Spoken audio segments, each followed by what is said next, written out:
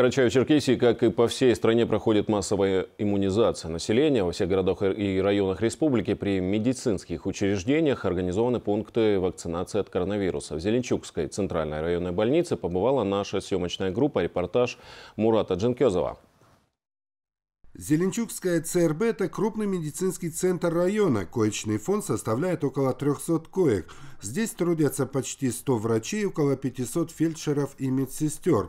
С 11 октября минувшего года в районе началась прививочная кампания. Тогда были привиты первые 9 человек. Это были сотрудники больницы, работающие в красной зоне. Сегодня в районе в соответствии с рекомендациями Минздрава России и Карачаева-Черкесии проводится плановая вакцинация населения. Делать прививку или нет, каждый решает сам, но рекомендации медиков однозначны. Прививка спасает жизни.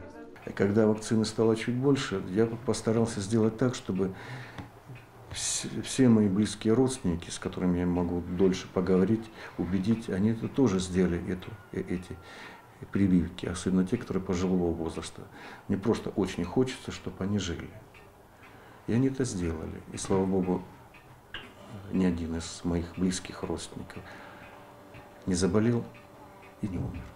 Специалисты говорят, что постепенное снижение заболеваемости коронавирусной инфекцией начнется через несколько месяцев, но для этого нужно поднять коллективный иммунитет населения, и главное сейчас это обеспечить доступность вакцин от COVID-19.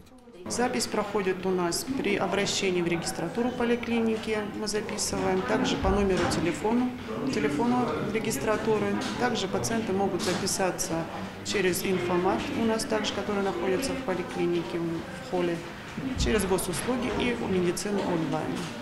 Запись записывается в среднем в день от 20 до 30 человек. Вакцину вводят в два этапа. Именно двухэтапная схема иммунизации хорошо известна в мире и считается очень эффективной. Давление в норме, температура в норме, противопоказаний для вакцинации нет. Вообще я хочу сказать, что к вакцинации я отношусь очень хорошо. Я, мы прививаемся всей семьей каждый год от гриппа. Это стабильно. И я не жалею, если честно, никогда не жалела. Мы это делаем каждый год. Пациенты, болеющие коронавирусом, проходят компьютерную томографию органов грудной клетки. К их услугам, пожалуй, лучший в республике аппарат высокочувствительной диагностики органов и систем человека. С апреля прошлого года на нем проведено около 9 тысяч бесплатных исследований. Он предназначен для исследования э, массы тела 100, э, 130 до 130 килограмм, где другие аппараты как бы сложно выполнить на них это исследование, здесь же возможно, и мы выполняем достаточно сложные исследования, э, диагностику различных патологий.